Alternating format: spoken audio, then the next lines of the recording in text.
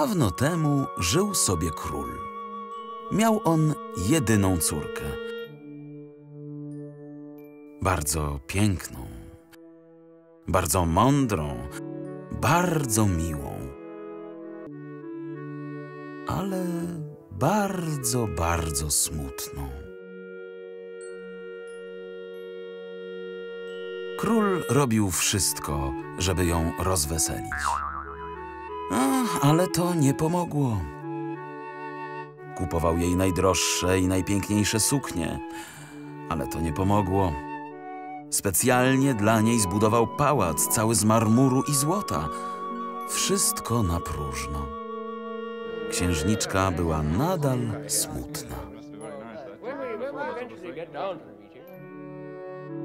Nieszczęśliwy ojciec, aby sprawić jej kolejne prezenty, musiał podnieść podatki w swoim królestwie.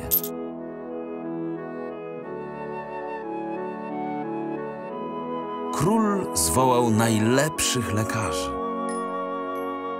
Nawet oni nie potrafili wyleczyć królewskiej córki ze smutku. Postanowił zatem udać się do mędrca. A ten dał mu następującą radę. Twoja córka musi założyć koszulę należącą do człowieka szczęśliwego. Dopiero wtedy będzie zdrowa i radosna.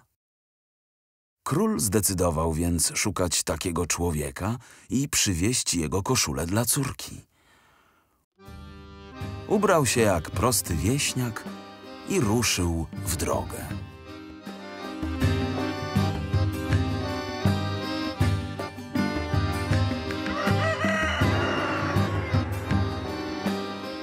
Szedł tydzień, miesiąc i ciągle nie mógł znaleźć. Wszyscy byli niespokojni, albo smutni, albo jedno i drugie.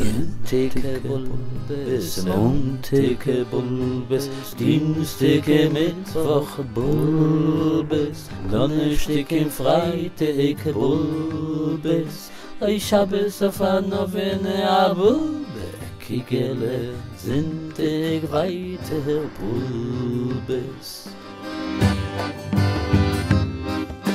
Król już miał zrezygnować, aż tu pewnego dnia, przechodząc koło pola, zobaczył trzech mężczyzn koszących zboże. Słońce mocno grzało i pewnie dlatego pracowali bez koszul. Zbliżało się południe, więc młodzieńcy schronili się przed słońcem pod drzewem. Pili wodę, odpoczywali, rozmawiali i śmiali się głośno. Zwłaszcza jeden z nich wyglądał na wyjątkowo szczęśliwego. Czy jesteś szczęśliwym człowiekiem? Tak, Zapłacę ile zechcesz, ale daj mi swoją koszulę. ja nie mam koszuli. Nasz król wprowadził tak wysokie podatki, że musiałem sprzedać swoją ostatnią koszulę. Weź moją koszulę i chodź ze mną.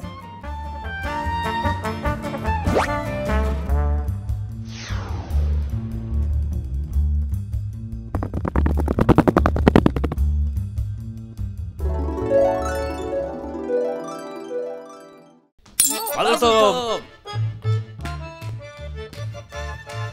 król wydał córkę za mąż za młodzieńca. Ojeje hosy, kale mazdo, ojeje hosy,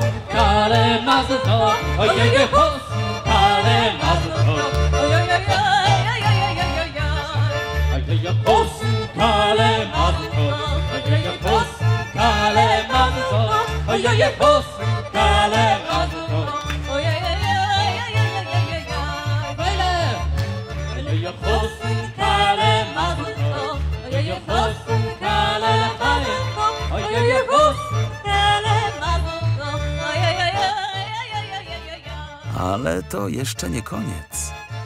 Młoda para miała dwójkę dzieci. Frejdl i Simcha, czyli frajda i radość.